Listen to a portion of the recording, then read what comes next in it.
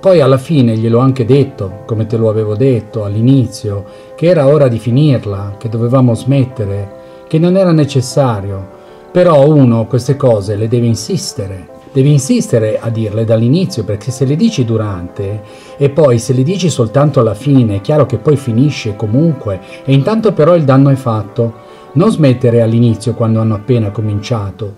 Se invece smettono a metà strada o smettono alla fine, non è la stessa cosa e comunque che senso ha dire che smettono a metà strada quando la strada ancora è tutta in corso? Non è chiaro questa cosa del fatto che dicono che non è chiaro è un'altra delle cose che andrebbero messe. Finirebbe smetterla di dire che non è perché non è vero, che non è chiaro. Tutti capiscono e sanno benissimo che è chiarissima, così possono continuare, invece bisognerebbe smettere però. Non smettono perché vogliono arrivare alla fine, senza capire che poi quando sono arrivati alla fine non possono più cambiare nulla ed è tutto finito.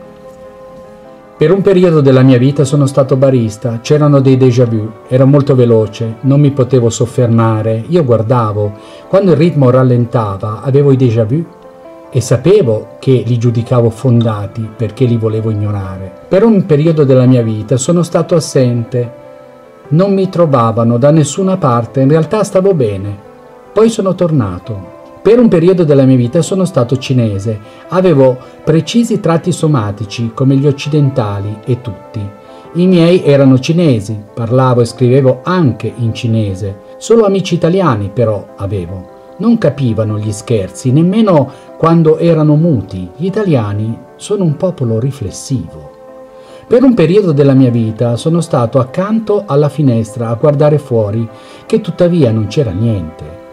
Non c'è niente nemmeno nel caminetto quando è acceso, ma è lo stesso, si guarda, uno guarda dentro. Cambia che è un dentro invece di un fuori. Le cose cambiano e per un periodo della mia vita non si sa come, poi si sa. Dopo lo sai, ma non sai quando è dopo.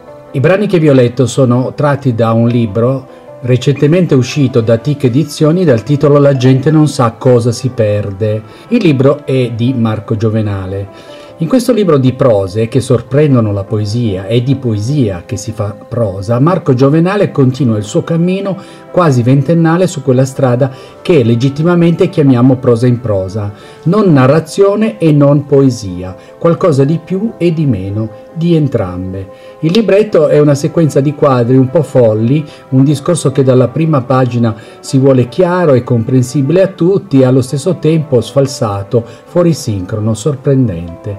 Marco Giovenale è nato nel 1969 a Roma, si è laureato in lettere con una tesi sulla poesia di Roberto Roversi, è una delle voci più interessanti della generazione dei poeti nati negli anni 60. Giovenale ha fondato gam.org nel 2006 con Gerardo Bortolotti, Alessandro Broggi e Michele Zaffarano.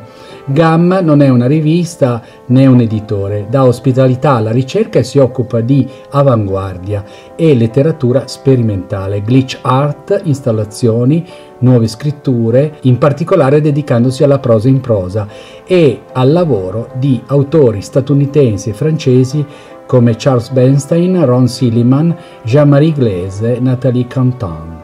Buon intervallo a tutti da Antonio Sixti.